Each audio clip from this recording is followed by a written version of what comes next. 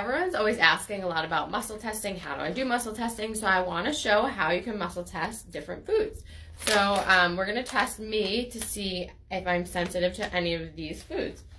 Okay, so let's try, um, so this is an apple. Okay, so match my pressure.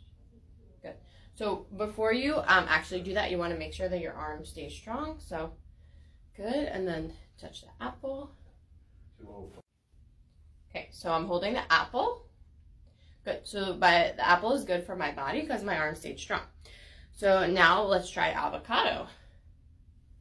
Okay, so you see that my body doesn't love avocados. Um, so that's interesting. Okay, let's try. Okay, so this is like a mango, like stick, mango fruit jerky. Okay, so that's also no. So my body's not loving that mango. And then this is a beef stick. So let's see that. Okay, so that's strong. So that's good.